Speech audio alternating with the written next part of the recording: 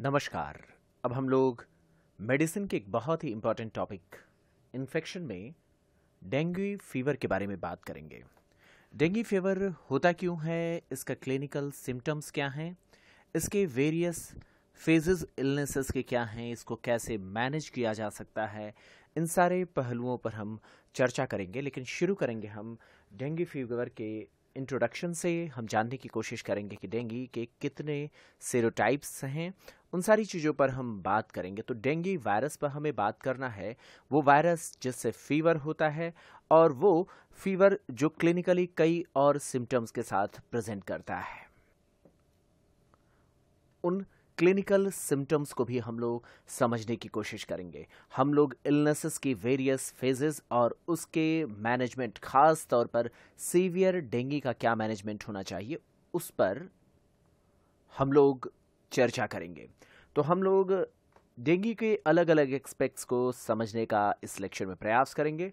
शुरुआत हम करेंगे डेंगू के क्लासिफिकेशन से कि इसको क्लिनिकली कैसे हम क्लासिफाई कर सकते हैं। दूसरा यह है कि डब्ल्यूएचओ का जो क्लासिफिकेशन है, उसको भी ध्यान में रखते हुए हम इसे क्लासिफाई करने की कोशिश करेंगे। तो चलिए मोटे मोटे तौर पर डेंगी फीवर के बारे में जानने की कोशिश करते हैं। डेंगी क्यों होता है, कैसे होता है? तो ये four distinct sub groups of dengue viruses की वजह से होने वाली एक प्रॉब्लम है। जिसमें आप देखेंगे जो सब ग्रुप्स हैं या जिन्हें सीरोटाइप्स कहा जाता है वो वन टू थ्री फोर हैं। तो serotype one two three and four इसके द्वारा होता है। इसके फोर सीरोटाइप्स हैं जिसमें सीरोटाइप टू सबसे कॉमन माना गया है। ये टॉपिक जिसके बारे में हम बात कर रहे हैं, ये पीएसएम यानी जो हमारी कम्युनिटी मेडिसिन का जो टॉपिक है आर्थ्रोप्रोड बॉर्न इन्फेक्शन उसके लिए भी ये काफ़ी इंपॉर्टेंट है। तो इसीलिए एक बार अगर हम इसे समझ लेते हैं तो दोनों जगहों पर हमारा कॉन्सेप्ट क्लियर हो जाएगा। इसमें टाइप टू सीरोटाइप सबसे अधिक वायरुलेंट है, ये पॉइंट हमें ध्यान में रखना होगा। चार सीरोटाइप हैं, जिसमें से टाइप टू सबसे अधिक वायरुलेंट होता है। डेंगू का वायरस जो भी इसका वायरस के द्वारा होने वाला इन्फेक्शन एक्चुअली एडीज मॉस्किटो के बाइट से होता है। तो इसमें एडीज मॉस्किटो जो कि फुल फॉर्म अगर उसका, अगर जीनस और स्पीशीज को स्पेसिफाई करें तो एडीज एजिप्टाई मॉस्किटो के बाइट से ये समस्या हमें होती है। तो ये मॉस्किटो भी पता होना चाहिए, इसके सीरोटाइप्स भी पता होने चाहिए। डेंगू फीवर ह्यूमन में कैसे होता है, इसके लिए आपको पता होना चाहिए कि मॉस्किटो की जब बाइट होती है तो मॉस्किटो फ़ीड करता है ब्लड को और उसको अपने सर्वाइवल के लिए ब्लड की ज़रूरत होती है। लेकिन याद रहे कि जो डेंगू का मॉस्किटो होता है वो दिन के समय बाइट करता है, रात के समय बाइट नहीं करता है। ये दिन के समय में बाइट करता है और ये साफ़ सुथरे पानी में ग्रो करता है। तो डेंगू के वायरसेस को जो कैरी करता है वो है एडल्ट या जो भी आप कह लें फीमेल एडीज एजेप्टाई मॉस्किटो तो यहाँ पर ये दिन में काटता है और इसके लार्वा पानी में जो पनपते हैं वो आप देख सकते हैं।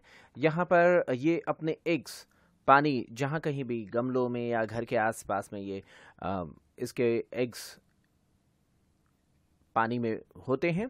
ये धीरे धीरे लार्वा प्यूपा स्टेज से गुजरते हुए एडल्ट में फार्म होते हैं। तो इसकी लाइफ साइकिल को हमें अगर ब्रेक कर दें, हमें ब्रेक करना भी होगा इसको कंट्रोल करने के लिए, क्योंकि मॉस्किटो की बाइट्स के साथ ही डेंगू का वायरस हमारे ब्लड में पहुँचता है। ध्यान रहे कि यहाँ जो मॉस्किटो के को कंट्रोल करने के लिए इसलिए गवर्नमेंट इतना ध्यान देती है क्योंकि आपको पता है कि यही कैरी करती है डेंगू वायरस को एक जगह से दूसरे जगह तक ले जाती है। अगर इसका बाइट ना हो तो फिर कोई समस्या ही ना हो। तो आप जानते हैं डेंगी एक फैमिली ऑफ़ वायरसेस की वजह से होने वाली प्रॉब्लम है जो कि मॉस्किटो के द्वारा ट्रांसमिट की जाती है। और यहाँ पर जो मॉस्किटो है, वो है एडीज एजिप्टाई मॉस्किटो और ये एक्चुअल में क्या होता है? एक पर्सन से दूसरे पर्सन तक इन्फेक्शन को फैलाती है। समझ रहे आप? तो ये क्या होता है? Previously beaten an infected person जब उसके ये ब्लड को सक करके अपने बॉडी में ले लेगी और इससे जब नेक्स्ट पर्सन को बाइट करेगी तो उसमें ये चला जाता है। ये मॉस्किटो फ्लोरिश करता है रेनी सीज़न में और ये वाटर फिल्ड फ्लावर पॉट्स में राउंड द ईयर अपनी ब्रीडिंग करता रहता है। तो इसीलिए इसको कंट्रोल करने के लिए गवर्नमेंटल एजेंसीज अलग अलग हमें तरीके बताती हैं। खैर, हमें यहाँ पर डिस्कस करना है मेडिसिन के पॉइंट ऑफ़ व्यू से तो हम टू द पॉइंट मेडिसिन पर ही रहते हुए हम बात करेंगे। चलिए समझने की कोशिश करते हैं manifestations of dengue virus infections आगे बढ़ने से पहले मैं आपको बता दूँ, जो भी लेक्चर मैंने बनाया है, ये मैथ्यू की जो बुक आती है review of medicine Indian medical students के लिए।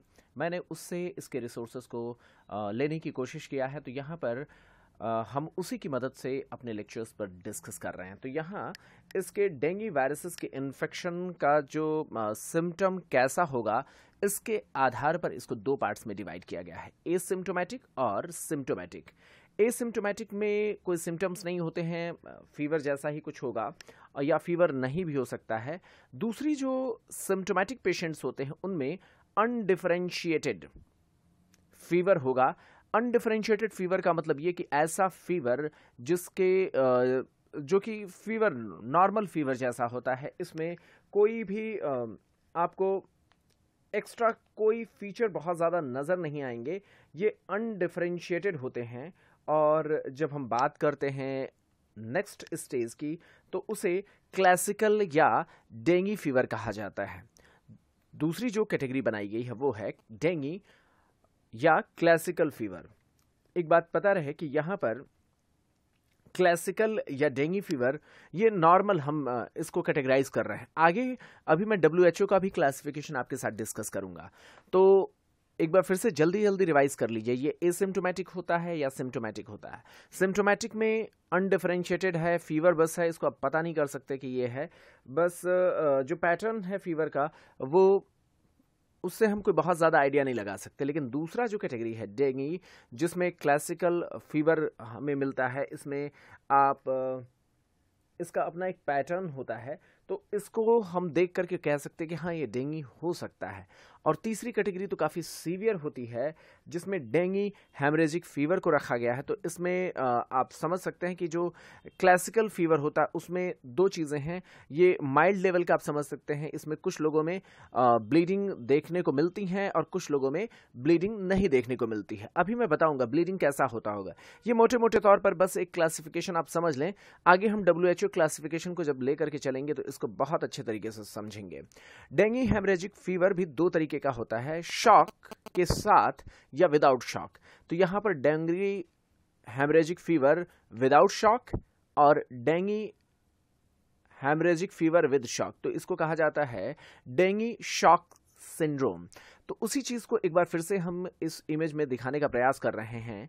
डेंगी वायरस के इन्फेक्शन से एक तो होता है कोई सिम्टम नहीं आता, दूसरा होता है सिम्टम्स आते हैं। सिम्टम्स अगर आते हैं तो क्या इसको डिफ्रेंशिएट किया जा सकता है दूसरे फीवर से? नहीं। तो ये अनडिफ्रेंशिएटेड फॉर्म था।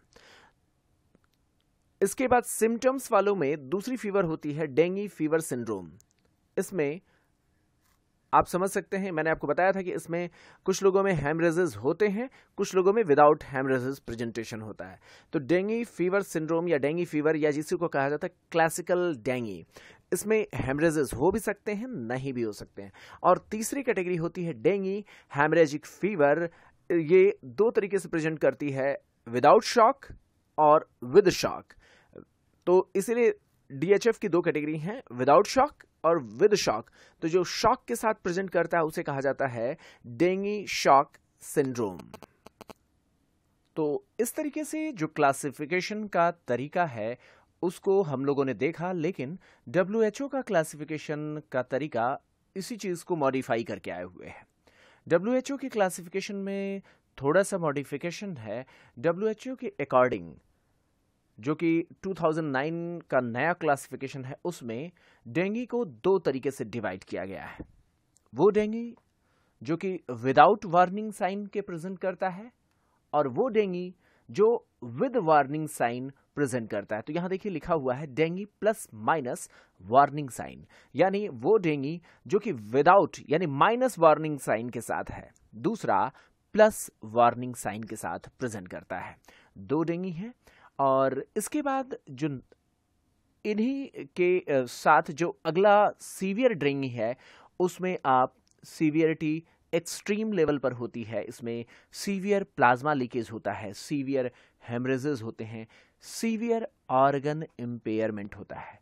अब सवाल ये उठता है कि ये होता क्यों है? इस तरीके की घटनाएँ प्लाज्मा का लीकेज, हेमरेजेस या ऑर्गन का इम्पेयरमेंट होता क्यों है, होता कैसे है? तो इसको मैं पैथोजेनेसिस के दौरान आपको समझाने का प्रयास करूँगा। एक बात, आगे बढ़ने से पहले आपको दिमाग में रखना होगा कि कई बार ऐसे डेंगी, जो कि डेंगी पेशेंट्स जिसमें कोई वार्निंग साइन नहीं नज़र आता है, वो भी सीवियर डेंगी के साथ प्रेजेंट कर सकते हैं। तो आपको याद रखना है कि ये जो क्लासिफिकेशन है, ये मोटे मोटे तौर पर डेंगी को क्लासिफाई करता है, लेकिन कई बार ऐसे पेशेंट जिनमें वार्निंग साइन नहीं भी होते हैं, वो भी डेंगी के पेशेंट्स सीवियर डेंगी के साथ प्रेजेंट कर सकते हैं। विदाउट वार्निंग साइन वाले भी सीवियर डेंगी के केस हो सकते हैं। इसलिए हमें इसके समस्या को बहुत लाइटली लेने की ज़रूरत नहीं है, इस पर बहुत तरीके से ध्यान रखने की ज़रूरत होती है। तो मैंने आपको बताया, इसकी जो क्लासिफिकेशन है डेंगी की, वो देखिए पहला क्या है? विदाउट वार्निंग साइन का। तो विदाउट वार्निंग साइन में क्या होगा? कोई सीवियर डेंगी नहीं है ये, इसमें कोई वार्निंग साइन नहीं होगा। जबकि दूसरा डेंगी है, जो कि सीवियर नहीं है विद तो यहाँ पर देखिए, शुरुआती जो है नॉन सीवियर डेंगी है, और ये सीवियर डेंगी है। जो नॉन सीवियर डेंगी है, उसमें प्लस माइनस वार्निंग साइन है। तो ये non severe dengue without warning sign और ये नॉन सीवियर डेंगी है, जो कि विद वार्निंग साइन प्रेजेंट करता है, और तीसरी कैटेगरी है सीवियर डेंगी की। तो इसमें जो दो कैटेगरी आप देख रहे हैं, ये नॉन सीवियर है, तीसरा सीवियर है। नॉन सीवियर में विदाउट आप समझ सकते हैं without warning sign with warning sign इस तरीके से इसको डिवाइड किया गया है डब्ल्यूएचओ के द्वारा। आप यहाँ पर देखें जो कि विदाउट वार्निंग साइन के होते हैं, वो प्रॉबेबल डेंगी इनको कहते हैं। इसमें क्या होता है कि हमें फीचर्स मिलते हैं और ऐसे पेशेंट्स जो कि उस एंडेमिक एरिया में रह रहे हैं या फिर उन जगहों पर ट्रेवल कर रहे हैं जहाँ पर डेंगी का एंडेमिक जोन है। ऐसे पेशेंट्स को अगर फीवर हो और दिए गए क्राइटेरिया में से कोई दो क्राइटेरिया हो तो ये प्रॉबेबल डेंगी हो सकता है, लेकिन अभी इसमें कोई वार्निंग साइन नहीं है। ऐसे पेशेंट्स में नोजिया होगा वॉमिटिंग होगी रैश डेवलप होंगे एके होंगे मीन्स पेन होगा, और टॉर्निक्वेट टेस्ट पॉजिटिव मिलेगा लिकोपीनिया होगा, और इसमें कोई वार्निंग साइन हो भी सकता है। हालाँकि आमतौर पर इसमें वार्निंग साइन नहीं होते हैं। तो ये प्रॉबेबल डेंगी का केस इसलिए माना जाता है क्योंकि इसमें वार्निंग साइन नहीं होते हैं। लेकिन ये लेबोरेटरी के द्वारा कंफर्म किया जा सकता है। यहाँ पर आपको पता होना चाहिए टॉर्निक्वेट टेस्ट क्या होता है। ये टॉर्निकेट टॉर्निक्वेट टेस्ट कैपिलरी के फ्रेजिलिटी के बारे में जानकारी देता है। टॉर्निक्वेट टेस्ट को करने के दौरान यहाँ पर ब्लड प्रेशर कफ को अप्लाई किया जाता है और यहाँ पर इसको इन्फ्लेट किया जाता है। कब तक? Mid point between systolic and diastolic blood pressure तो आप समझ सकते हैं ब्लड प्रेशर का कफ लगा करके इतना प्रेशर अप्लाई किया जाता है जो सिस्टोलिक और डायस्टोलिक ब्लड प्रेशर के मिड में वैल्यू तक हो, इस प्रेशर पर यहाँ पर इन्फ्लैट करके कफ को लगा दिया जाता है पाँच मिनट के लिए। और इस दौरान आप बात समझ सकते हैं, कितना होना चाहिए? जैसे मान लीजिए, मैंने कहा 120 ट्वेंटी बाई एट्टी होता है तो हम प्रेशर कितना लगाएँगे? प्रेशर कितना अप्लाई करेंगे? तो 120 प्लस 80 बाई टू यानी 100 एम एम एच जी का प्रेशर लगा करके फाइव मिनट्स तक हम लगा करके छोड़े रखते हैं। इसके बाद हम पर स्क्वायर इंच में होने वाले पेटिकी के बारे में देखने की कोशिश करते हैं। पेटिकी 10 से 20 10 या उससे ज़्यादा हैं तो आप समझ सकते हैं ये टेस्ट पॉजिटिव कहा जाता है। और ये सीधे तौर पर थ्राम्बोसाइटोपिनिया यानी रिड्यूस्ड प्लेटलेट काउंट के बारे में जानकारी देता है। लेकिन ये टेस्ट लिमिटेड इसका अपना इफ़ेक्ट है, क्योंकि ये कई बार नेगेटिव भी मिल जाता है। मैं बस वो टेक्निक समझाना चाह रहा था तो आप समझ सकते हैं प्रॉबल डेंगी में क्या होता है फीवर है और इसमें से कोई दो क्राइटेरिया फॉलो हो रहा हो। वार्निंग साइन में क्या होता है? यहाँ पर वार्निंग साइन जब दिखने लगे, ये साइन है वार्निंग साइन है, और जब वार्निंग साइन दिखने लगे तो स्ट्रिक्टली पर्सन को ऑब्ज़र्व करना और मेडिकल इंटरवेंशन की आवश्यकता हो जाती है। तो यहाँ पर एब्डोमिनल पेन होगा, टेंडरनेस हो, टेंडरनेस होगा परसिस्टेंट वॉमिटिंग होगी क्लिनिकल फ्लूड एकोमुलेशन होने लगेगा mucosal bleed lethargy restlessness liver का इनलाजमेंट टू सेंटीमीटर से ज़्यादा लेबोरेटरी लेबोरेटरी टेस्ट में हिमेटोक्रिट कॉन्करेंट बढ़ जाता है with rapid decrease in platelet count तो यहाँ पर क्या हुआ? HCT का मतलब हिमेटोक्रिट हिमेटोक्रिट कॉन्करेंट बढ़ जाता है with rapid decrease in platelet count ये लेबोरेटरी की फाइंडिंग होती है। और ऐसे कंडीशन में पेशेंट को स्ट्रिक्ट ऑब्जर्वेशन और मेडिकल इंटरवेंशन की ज़रूरत होती है। जब सीवियर डेंगी होता है तो क्या होता होगा? सीवियर प्लाज्मा लीकेज होता है। इसके कारण शॉक में पर्सन चला जाएगा तो यहाँ पर डेंगी शॉक सिंड्रोम हो जाता है। रिस्पायरेटरी डिस्ट्रेस होगा क्योंकि फ्लूड एकोमुलेट होने लगते हैं रिस्पायरेटरी ट्रैक में। और यहाँ पर मतलब आप समझ सकते लंग्स में फ्लूड एकोमुलेट होने लगेगा। सीवियर ब्लीडिंग होने लगती हैं, जिसको क्लिनिशियन इवेलुएट कर सकते हैं। कई ऑर्गन इन्वॉल्वमेंट देखने को मिलते हैं। लीवर में आप देखेंगे एएसटी या ए का वैल्यू थाउज़ेंड से ज़्यादा हो जाता है। सीएनसी के जब आप सीएनसी के फीचर्स देखेंगे तो इसमें इम्पेयर्ड कॉन्सियसनेस मिलेगा। हार्ट और दूसरे ऑर्गन्स भी अब धीरे धीरे इन्वॉल्व हो जाएँगे। उनका प्रॉपर फंक्शनिंग नहीं हो पाता है। तो इसमें आप देख रहे हैं सीवियर डेंगी और यहाँ पर दो non severe dengue non severe dengue में without warning sign warning sign के साथ इस तरीके से डब्ल्यूएचओ ने इसको क्लासिफाई किया है। अब पूरी प्रोसेस को समझने के लिए हमें इसके पैथोजेनेसिस को समझना होगा। इस पैथोजेनेसिस में बहुत बेहतर तरीके से पूरे के पूरे सीक्वेंस को समझाने की कोशिश की गई है। यहाँ पर दिखाने का प्रयास किया गया है कि डेंगी का जब वन सीरोटाइप डेंगी वायरस का इन्फेक्ट करता है तो यहाँ पर एंटीबॉडीज़ उस पर्टिकुलर सीरोटाइप के अगेंस्ट बनने लगती हैं। तो कैसे बनती होंगी उसको देखें। यहाँ पर सबसे पहले इसको यहाँ जब वायरस बॉडी में एंटर करता है तो डेंड्राइटिक सेल्स उसको इनगल्फ करती हैं और ये अप, इसके एंटीजेंस को अपने सरफेस पर प्रोजेक्ट करती हैं। तो उनके एंटीजेंस को T cells helper T cells जाकर के पहचानते हैं और इसके वजह से यहाँ पर टी सेल्स का मल्टीप्लिकेशन होना शुरू हो जाता है। इस दौरान प्रक्रिया कुछ ऐसा होगा कि अगर ये ऐसा भी हो सकता है कि बॉडी की इम्यूनिटी इस वायरस को पूरी तरीके से समाप्त कर दे, लेकिन टी हेल्पर सेल्स यहाँ पर प्रोलीफरेट कर गए और उनकी वजह से कुछ क्लोनल एक्सपेंशन हुआ कुछ मेमोरी सेल्स बन गई। ये नंबर वाइज ऐसे ही चलती हैं समस्याएँ। तो कुछ क्लोनल uh, एक्सपेंशन हुआ और मेमोरी सेल्स uh, बन गई जो कि नेक्स्ट इन्फेक्शन होने पर तेज़ी से इफेक्टिवली वर्क करेंगी। तो आप देखें सीरोटाइप वन का इन्फेक्शन अगली बार जब हुआ सेकेंडरी इन्फेक्शन हुआ तो इसको डेंड्राइटिक सेल्स ने जब अपने सरफेस पर इसके एंटीजन को एक्सपोज किया तो हुआ ये कि ये टी हेल्पर सेल्स इफेक्टिवली तेज़ी से इसको पहचान करके, तेज़ी से इसके अगेंस्ट प्रोलिफरेशन बढ़ना शुरू हो जाता है। तो यहाँ पर आप देख सकते हैं, ये कुछ इस तरीके से होता है। यही काम आप यहाँ पर इस सिक्स नंबर पर देखें तो यहाँ पर सीरोटाइप टू के लिए भी होगा।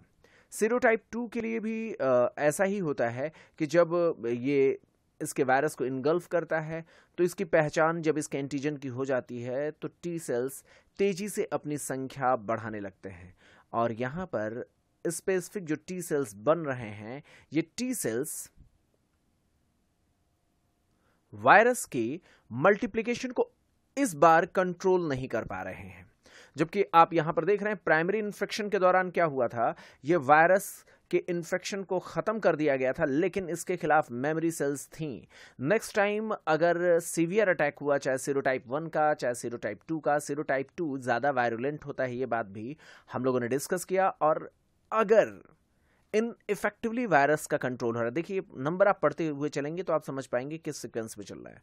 तो यहाँ पर इन इफेक्टिवली अगर वायरस का कंट्रोल हुआ तो होगा क्या? ये लगातार अपनी संख्या बढ़ाते हुए चलते रहेंगे। तो यहाँ पर आठ के बाद, देखिए एट नंबर यहाँ पर दिखाया गया, फिर नाइन नंबर यहाँ पर दिखाया गया है। ये लगातार सेल्स के साथ इनका इनकाउंटर होते रहेगा और इस दौरान डेंड्राइटिक सेल्स इसको अपने सरफेस पर एक्सपोज करेंगे। इसके कारण इम्यूनिटी का जो नॉर्मल पैटर्न है, पहले टी हेल्पर सेल्स फिर बाद में बी सेल्स भी इसमें आ जाती हैं और ये बी सेल्स धीरे धीरे करके इसके खिलाफ एंटीबॉडीज बनाने लगेंगी। तो होगा क्या? आप यहाँ पर देखिए 11 है ना? तो यहाँ पर आप देख सकते हैं लगातार अलग अलग तरीके से ये डेंड्राइटिक सेल से या जो भी बॉडी के डिफेंस मैकेनिज्म की जो प्राइमरी लेवल पर जो इम्यून इम्यूनिटी के लिए जो सेल्स काम करते हैं, उससे इनका इनकाउंटर हो रहा है और धीरे धीरे ये टी हेल्पर सेल्स और बी सेल से इसका इनकाउंटर हो रहा है। तो इसकी वजह से एंटीबॉडीज़ की संख्या बढ़ रही है और कई मामलों में एंटीबॉडीज़ इसको धीरे धीरे न्यूट्रलाइज भी करते जाते हैं। लेकिन प्रॉब्लम बढ़ती जा रही है। यहाँ पर आप देखेंगे सीरोटाइप टू में आप यहाँ पर देख सकते हैं सीरोटाइप टू है। तो सीरोटाइप वन के लिए भी वही बात है, सीरोटाइप टू के लिए भी यही बात है। सीरोटाइप टू का भी अगर सेकेंडरी इन्फेक्शन हो रहा है तो इसको पहचाना जाएगा, इसके खिलाफ एंटीबॉडीज बनना शुरू हो जाती हैं। वो सारी चीज़ें जो हम जानते वही है। इसको भी न्यूट्रलाइज करने का प्रयास किया जाता है। लेकिन इसी दौरान बॉडी के दूसरे सेल्स भी एक्टिवेट हो जाते हैं। यहाँ पर जो एंटीबॉडीज़ हैं, जो भी एंटीबॉडीज़ हैं, ये जा करके सिग्नलिंग देती हैं मास्ट सेल्स को। मास्ट सेल्स को सिग्नलिंग देती हैं और मास्ट सेल्स इसके कारण अपने भीतर से साइटोकाइंस को रिलीज़ करने लगता है। आप समझ सकते हैं। इसको माइक्रोबायोलॉजी का ये पार्ट है, इसलिए इसमें बहुत ज़्यादा हम डिटेल में नहीं जा सकते हैं। बस ये समझना है कि धीरे धीरे करके बॉडी की डिफेंस मैकेनिज्म के जो सेल्स हैं धीरे धीरे प्रोग्रेसिवली वो आने लगते हैं। प्राइमरी इनकाउंटर हुआ तो उस समय पर्सन में इन्फेक्शन नहीं हुआ। लेकिन दूसरी बार क्लिनिकल सिम्टम्स इसलिए आते हैं, अगर वो दूसरी बार आए और वो ज़्यादा वायरलेंट फॉर्म में आए और उनका इन्फेक्शन ज़्यादा सीवियर था, हमारी इम्यूनिटी उतनी अच्छी नहीं थी तो होगा क्या? हम इसके साथ इनकाउंटर तो करेंगे। इसको न्यूट्रलाइज भी देखिए, यहाँ पर करने का प्रयास कर रहे हैं। डिफरेंट तरीके से जो भी एंटीबॉडीज़ बनी हैं और जो दूसरे सिग्नल्स होते हैं इंटरल्यूकिन्स साइट जो भी हैं इंटरल्यूकिन्स उसके कारण बॉडी के सारे सेल्स को इन्फॉर्मेशन भी पहुँच जाता है। लेकिन वायरस को पूरी तरीके से ख़त्म नहीं किया जा सका है इम्यूनिटी इस पर जीत नहीं पाई है। तो होगा क्या? मास्ट सेल्स के ड्री ग्रैनुलेशन से कई तरीके के साइटोकाइंस वैसो एक्टिव फैक्टर्स निकलेंगे, जो कि वैस्कुलर एक्टिवेशन कराते हैं, जिसके कारण इंडोथिलियम की लीकेज हो जाती है। तो यहाँ पर देखिए साइटोकाइंस जो रिलीज़ होंगे माइटो मास सेल से, ये इंडोथिलियल एक्टिवेशन कराते हैं, वैस्कुलर डैमेज होगा, और यहाँ सीधे तौर पर क्या होगा, वैस्कुलर लीकेज होगा, जिसके कारण आप समझ सकते हैं, एडिमा होगा, और इस दौरान बॉडी के डिफरेंस डिफरेंट जो सेल्स हैं, उनके नंबर्स घटते हुए चले जाएँगे, जिसमें थ्रोम्बोसाइट्स के नंबर बहुत तेज़ी से गिरता है। तो यहाँ पर जो प्राइमरी इनकाउंटर होता है डेंड्राइटिक सेल्स या मैक्रोफिजिस से जो भी इनकाउंटर होते हैं, इसको आप देख सकते हैं। और ये जब इनकाउंटर होता है तो उसी समय कई तरीके के इंटरल्यूकिन्स निकलना शुरू हो जाते हैं, जो बॉडी के दूसरे सेल्स तक जानकारी पहुंचाना शुरू कर देते हैं। इस दौरान ही वैस्कुलर लीकेज होना शुरू हो जाता है, मास सेल्स भी जो साइटोकाइंस रिलीज़ करते हैं, उससे भी जो वैस्कुलर लीकेज होता है, जो परमेबिलिटी फैक्टर्स जो यहाँ से रिलीज़ होते हैं वैस्कुलर लीकेज कराते हैं और जिसके कारण यहाँ से